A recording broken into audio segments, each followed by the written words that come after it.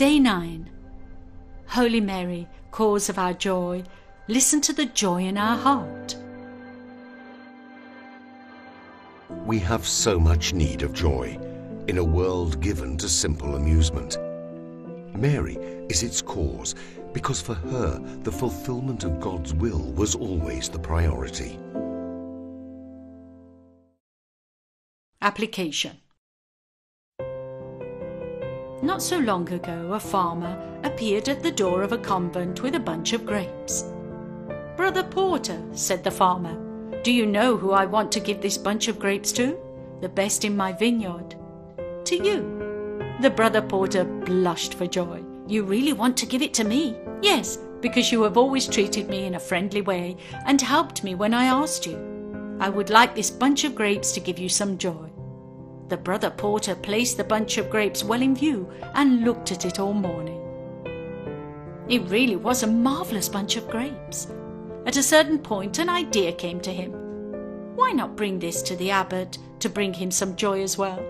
He took it and brought it to the abbot. The abbot was truly happy with it. But then he remembered that in the convent there was an elderly sick brother, and he thought, I will bring him the bunch of grapes to lift his spirits a bit.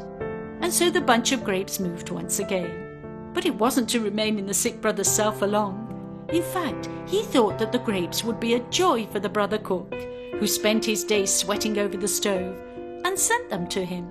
But the brother cook gave the bunch of grapes to the brother sacristan, who brought it to the youngest brother in the convent, who brought it to another, who thought it would be good to give it to someone else, until from brother to brother the bunch of grapes came back to the brother porter, and the circle closed.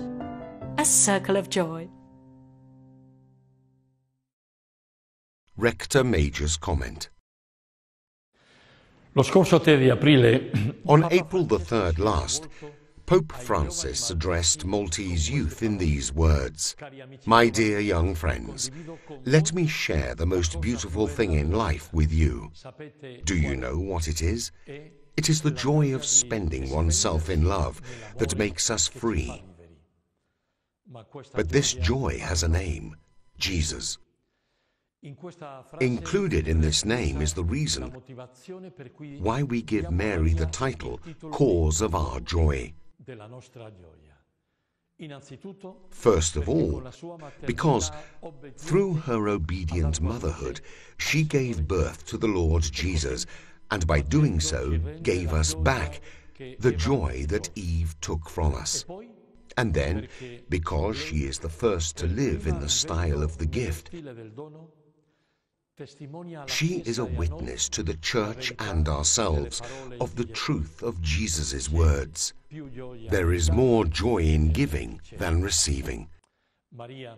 Mary is the demonstration, the concrete testimony that chi accoglie la chiamata del Signore, la chiamata ad amare, those who accept the call of the Lord, the call to love, see their heart filled with joy. Not only that, even Mary's relationships with people, the Gospel reminds us, generate joy, serenity. Like Mary's visit to Elizabeth, like the wedding at Cana. And this joy Mary spreads also in the hearts of the saints. o i santi anonimi, sconosciuti e nelle apparizioni, dove and in apparitions, where the encounter with Mary always generates not fear, but serenity, familiarity. It builds for eternity. Salesian reference. Many boys at the oratory carried with them the signs of insecurity, lack of self esteem, of a great hunger for love and models to identify with, the result of a chronic lack of affection in their families of origin. And precisely because Don Bosco's availability as a father worked like a magnet for the boys he came across, they immediately became his children. They followed him, accompanied him, almost hunted him down, and he himself wrote, A special scene was when I left the oratory. Coming out of church, each one said, Good evening a thousand times, but without detaching themselves from all their friends. I encouraged them, Go home, it's night time, your parents are waiting for you. But it was useless. Six of the stronger ones, using their arms, made a kind of chair, a throne, which I could sit on. They would arrange themselves in rows, carrying me on the throne in their arms. Others went ahead singing, laughing and chattering all the way to the rondo. There they sang more songs, concluding with the solemn hymn, Praised Be Forever. Then there was deep silence, and I could wish them all a good night and a good week. The boys in full voice replied, Good night. I got down from my human throne, and each one went home to his family, while some of the older ones accompanied me till I got back home. Testimony from the Salesian world. Un saludo a toda la familia salesiana. Greetings to all the family during this novena to Mary Help of Christians. My name is Rogier del Nido, and I am the provincial coordinator for the Salesian Cooperators of the Mary Help of Christians province in Spain.